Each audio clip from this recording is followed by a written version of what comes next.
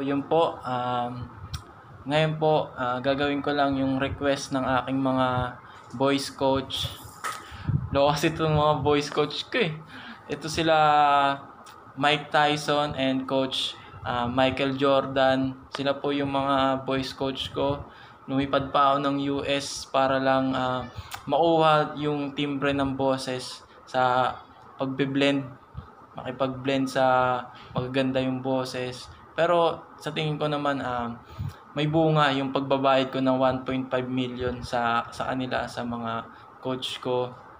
So yun na nga. Um, gusto nila marinig kasi um, pagtaas ng video na to isesend ko sa kanila yung video na to. Tapos ayan papainggan nila.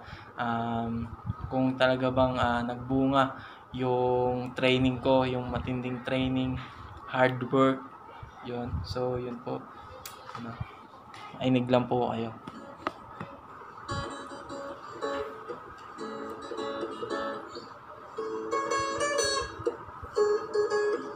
I know I know you belong to somebody new, but tonight you belong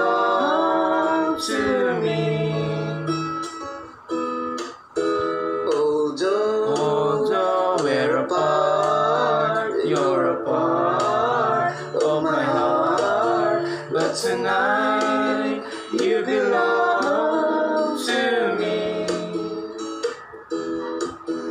way down, Way down by the stream, how sweet it will seem once more just to dream in the moonlight.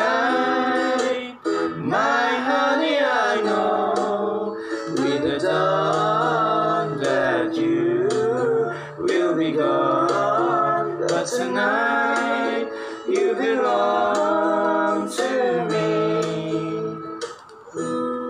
So, um, sa mag-aakala na naka-autotune po ako, um, hindi po. Normal voice ko po yun.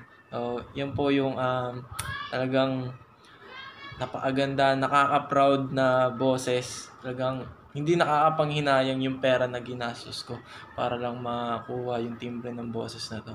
So, yun. Thank you po.